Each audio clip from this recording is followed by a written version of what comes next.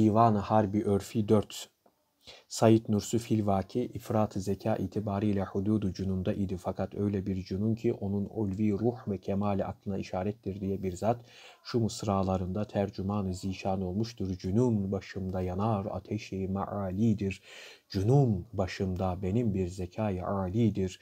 Benim cünunuma rehber ziyayı ulviyet, benim cünunumu bekler azim bir niyet.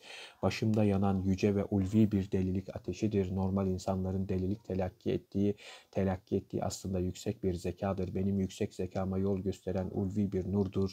Yani dinin ışığıdır. Benim bu yüksek zekama yüksek bir gayret ve azim gereklidir.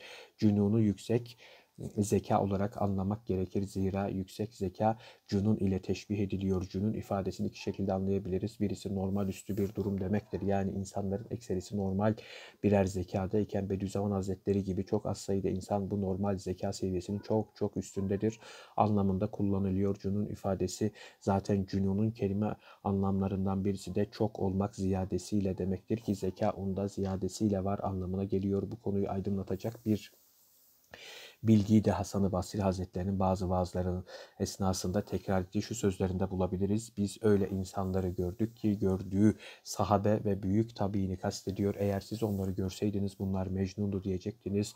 Şayet onlar sizi görseydi bunlar şeytandır diyeceklerdi. İkincisi çok zeki insanların anlayışı, keşifleri, tespitleri normal insanların çok üstünde olduğu için çok zaman böyle zeki kimseler normal insanlar tarafından deli gibi telakki edilir. Mesela Birinci Dünya Savaşı yaşanmış İslam alemi darma duman olmuş, dinsizlik her tarafı istila ediyor bir vaziyette. Normal insanlar ümitsizliğe düşerken Bediüzzaman Hazretleri bir nur görüyorum, ümit var olunuz diyor ve çok insanlar Bediüzzaman Hazretleri'nin bu tavrına anlam veremiyor ve bunu delilik gibi telakki ediyor. Aslında normal insanların nazarı kesif olduğu için latif şeyleri göremiyor. Fakat öyle bir cunun ki onun ulvi ruh ve kemal aklına işarettir diye bir zat şu mısralarında tercüman-ı zişan olmuştur. Bu ifadeler de bu mana işaret ediyor.